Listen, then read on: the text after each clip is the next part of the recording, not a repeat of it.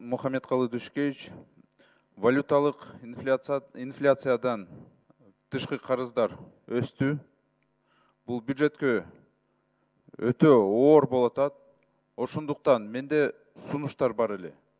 Эл аралык каржы институттар менен сүйлөшүп графиктерди жаңы түзүп алардан сураныш керек.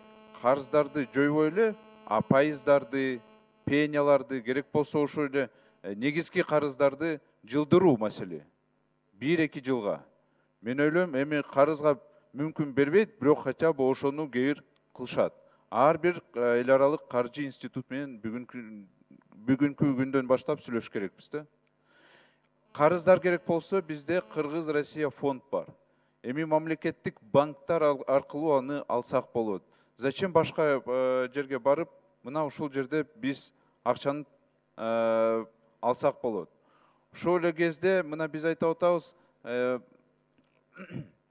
сельское хозяйство айыл чарбага кредиттерди ушул жылдан кыскарттык бирок менимче көбүрөөк бериш керек ушул жылда себеби азык түлүк коопсуздукка жараша. Айылда акча керек болот сөзсүз аларга ушундай жардам бериш керекпиз да.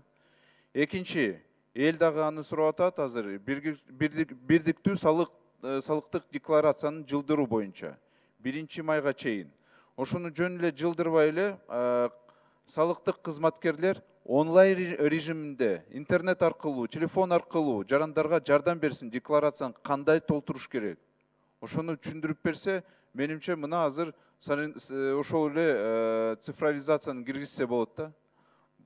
Ушундай сунуштар болуп атат эми грсте көрүп атабыз торговый центрде көрүп атабыз эл өтө көп.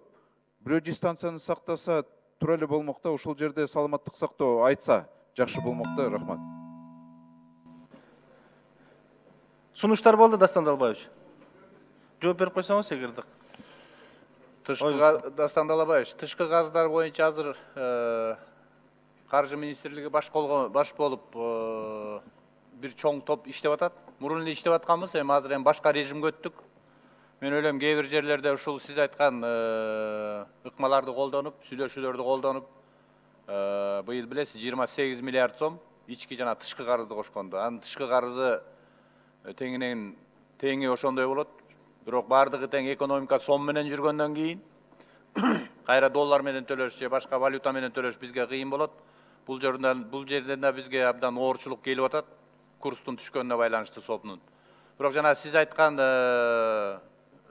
сунуштарды биз баштадык мен ойлойм сиз да жардам берсеңиз көз карашыбыздын баарын бириктирип анан кийин чогуу жылгандай экинчиси декларация боюнча салык декларациясы боюнча жылдырабыз биз аны сүйлөштүк кечээ жылдырып жанагыдай кезек күтмөй азыр эми кыйналып аткан бизнестеги адамдарыбыздын убактысын албаганга шарт түзөлү деп атабыз